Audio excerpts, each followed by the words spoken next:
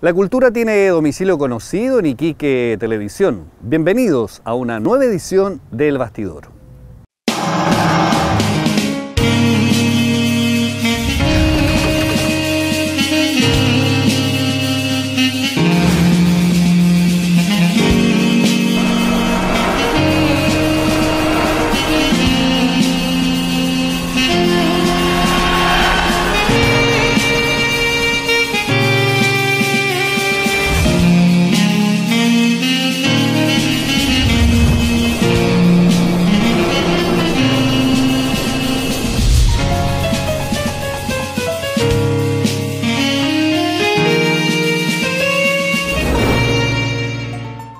Una obra de teatro que reivindica el rol de la hoja de coca en las culturas andinas sorprendió al público que se dio cita en la sala del Sindicato de Estibadores.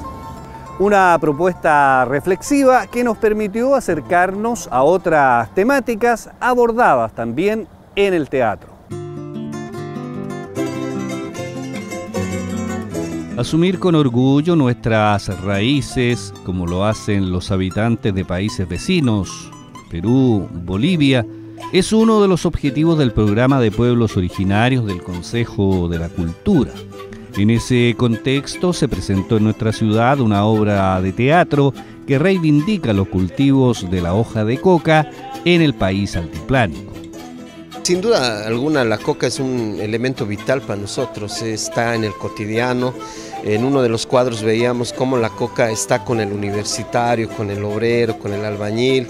Y de pronto muchos podríamos decir es que hay dos Bolivias, una Bolivia oligarca y otra Bolivia del altiplano que está con el proceso de cambio. La temática central eh, obviamente es la coca. No, nosotros no somos personas partidistas, ¿no?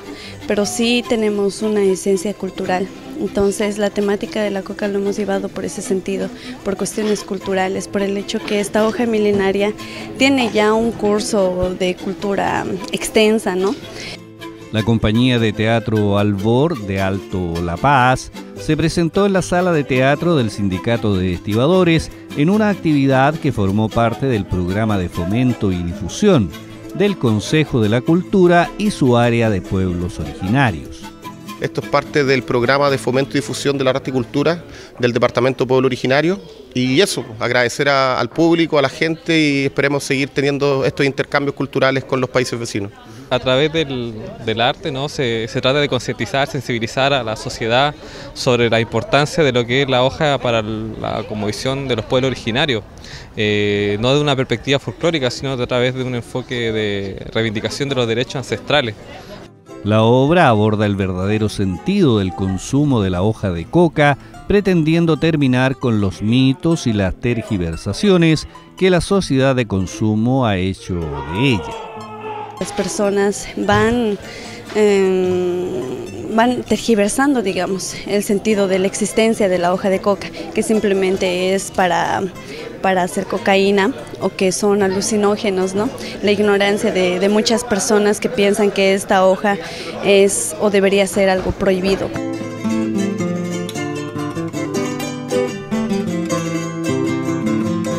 Este programa pretende contribuir a la revitalización y fomento de las expresiones artísticas y culturales de los pueblos originarios presentes en el país. Como programa eh, estamos en eso, en revitalizar, poner en valor y en uso social estas prácticas sociales, estas expresiones y conocimientos tradicionales de los pueblos con un proceso participativo inclusivo desde los pueblos, desde las comunidades. Nuestro trabajo tiene dos directrices, que es un enfoque de derecho y un enfoque territorial. Estamos trabajando con cinco asambleas territoriales dentro del territorio y bueno, quisimos llegar también a la ciudad. Como decía el director, el indio también vive en la ciudad. Esta iniciativa se origina en el programa de gobierno de la presidenta Michelle Bachelet a partir de los acuerdos derivados de la consulta previa a los pueblos indígenas desarrollada entre los años 2014 y 2015. En función de la ratificación del convenio 169 por parte del Estado de Chile el año 2008 y desde el año 2009 que entra en aplicación, eh, se reconoce el uso, eh, el uso tradicional de la hoja de coca. Nosotros lo utilizamos en, nuestra creencia, en nuestros rituales. en todas las actividades que nosotros tenemos ancestralmente para pichar, para aguantar la fatiga, para aguantar el hambre, para estar en todo ese esfuerzo continuo, ¿no? Entonces para eso nosotros es, es nuestro, bueno, la compañía que tendríamos que tener siempre. El público que acudió a la pequeña sala Estibadores fue sorprendido con la puesta en escena de esta compañía boliviana y especialmente con la temática que aborda la obra. Es una propuesta novedosa, fresca, un teatro distinto, muy honesto, desde un punto de vista eh, etnográfico, eh, muy, muy, muy lindo, eh, muy lúdico también y, nos recuerda mucho eh, la falta de identidad que nosotros tenemos. Eso es lo que más me, tocó. Somos alrededor de 13 actores y cada actor realiza varios papeles, entonces la movida dentro de, escenario es grandísima, tienen que entrar y salir nuevamente de otro papel, entrar y salir nuevamente de otro papel.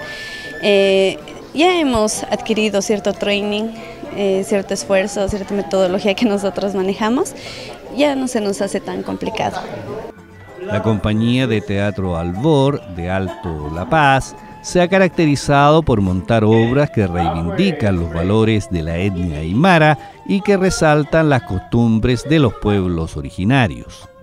Obras que son de actualidad y el tema de la coca, obviamente, uno por el tema de la declaración de, las Naciones Unidas y descartando como sustancia controlada eh, el tema de la coca y, también por otro lado una lucha contra las drogas eh, que lo hacemos a partir de esta obra, ¿no? más llegado, enfocado a los jóvenes. La hoja de coca siempre ha tenido un papel importante en las culturas andinas, especialmente en los rituales y es utilizada por los pueblos chipcha, aymara y quechua.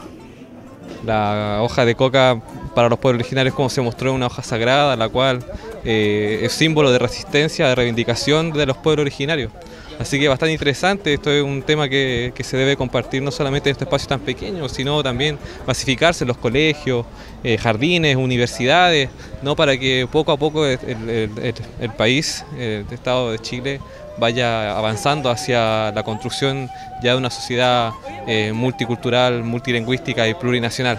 Eh, Bolivia era un Estado-nación, hoy por lo menos formalmente se llama Estado plurinacional que da cuenta de la existencia de naciones, culturas ah, que, resistieron pues a, la política nacionalista implementada especialmente desde el año 1952, crear una nación única, una cultura única, pero en base al legado colonial español. ¿no? Carlos Mamani, quien fuera presidente del Foro para Cuestiones Indígenas de las Naciones Unidas, también estuvo presente en esta jornada de difusión y fomento de las expresiones artísticas y culturales de los pueblos originarios, que culminó con la presentación de Mamacoca.